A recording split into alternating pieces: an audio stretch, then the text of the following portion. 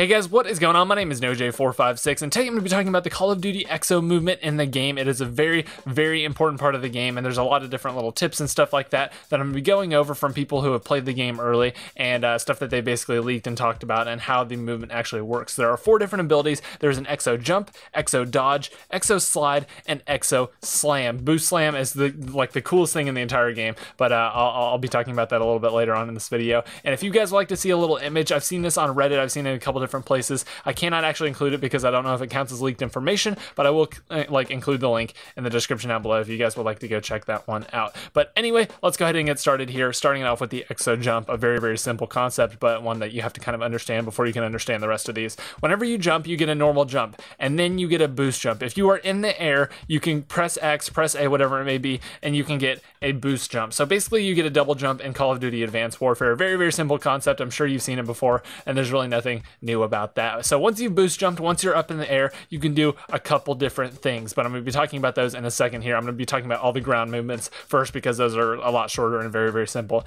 So basically, whenever you press the control stick forward to start sprinting, it'll work completely like normal. You'll just start sprinting, nothing different, nothing new, nothing special, anything like that. You'll just start sprinting forward. However, if you press the analog stick to the left, right, or behind you in a sprint like fashion, like you press it down, you will actually boost dodge in that direction. So you can like back juke, you can side juke, you can juke to the left, to the right, all while on the ground. It's a great, great way to get away. And if you're being shot at, you can boost dodge away, like get around a corner and then boost dodge back out and then shoot them up, something like that. And it also works with going backwards. So that's a very, very cool tip that you can actually do. So once you're in air, there's something very, very special that you can do. You can actually do two of these once you're in the air. So you can boost up into the air. Okay, so let's just go through this. You jump, your soldier jumps, you boost up into the air, you get some major, major altitude, then you press the control stick backwards. You'll juke back, and then you can press it one more time. So you can juke back and then juke back forward, you can juke back twice, you can juke back to right or left or until you land.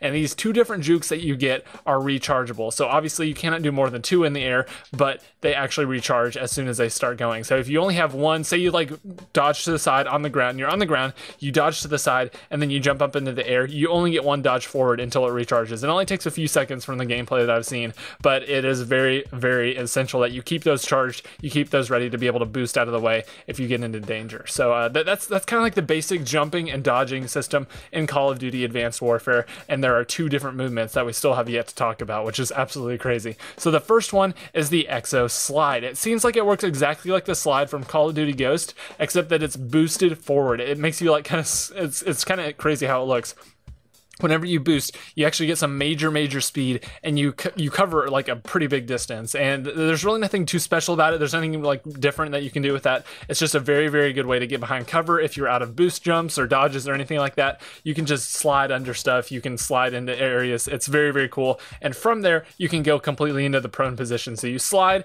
you reach the end, and then you go into the prone position. It's a very, very cool maneuver. And from what I've seen, it is very, very essential that you be using this because it's great for getting under people and uh, just kind of dodging bolts and stuff like that. And last up, the very last thing, the best for last, is the boost slam. So uh, basically, whenever you go up into the air, you're into the air. This is all an aerial thing. You can actually press the melee button pointing toward the ground and you will go flying down and kill anyone that you land on top of. Now, you do have to land on top of them to actually kill them, unless you have like a perk that does a little bit extra. There's a perk that does a little bit of extra damage for this, but you can land around them, you can land on top of them, and it will actually kill them. Now, if you do not have this perk, but you do land relatively near to them, like you you land kind of like next to them at their feet, something like that, you don't actually hit them, you will stun them. It will kind of do some damage. There'll be a one-shot kill, and then you can actually take out your gun and just finish them off, or just melee them out of midair. It's an absolutely amazing ability from what I've seen of all the different streams and stuff like that. And